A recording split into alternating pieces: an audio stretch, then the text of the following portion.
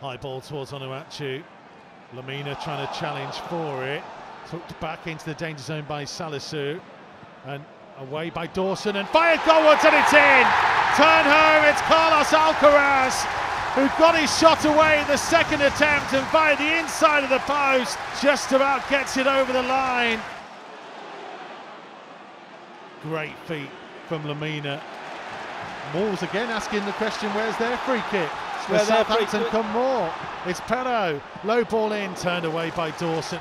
Oh, Lemina Sent him has off. got a second yellow, and Lemina is sent off on his return to Southampton.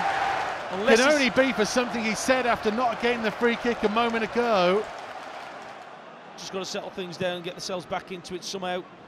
It's a very clever ball by Dawson for Moutinho.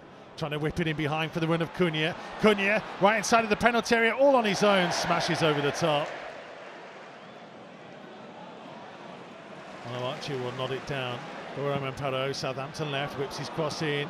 Turned away by Matheus, not fully, and a massive important block by Maximilian Kilman.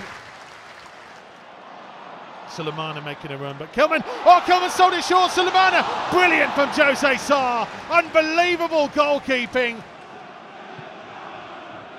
Tries to whip it out towards Adama Traore. Traore getting the better of Perraud. Right inside of the box. Low one in. Diego Costa couldn't quite take it. He'll try and tee it up here for Semedo. Semedo hitting through the bodies and Sarabia couldn't quite get on the end of it. Bueno, couple of step overs, looks to play it in, comes to Costa, brilliant block. It's going to fall to Adama Traore, must shoot, blocked on the line, it's in, it's scrambled in, and Wolves are level at St Mary's. What a massive moment!